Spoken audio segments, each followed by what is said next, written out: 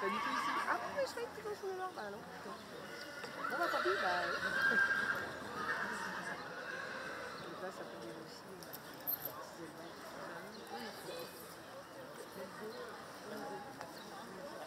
euh, on va matériel qui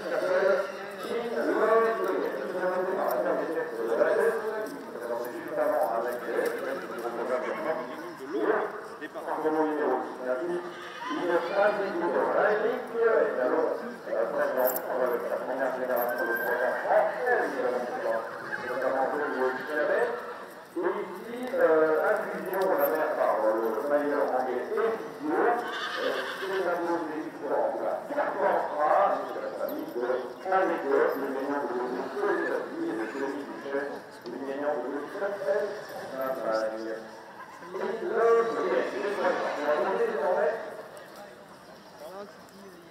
y a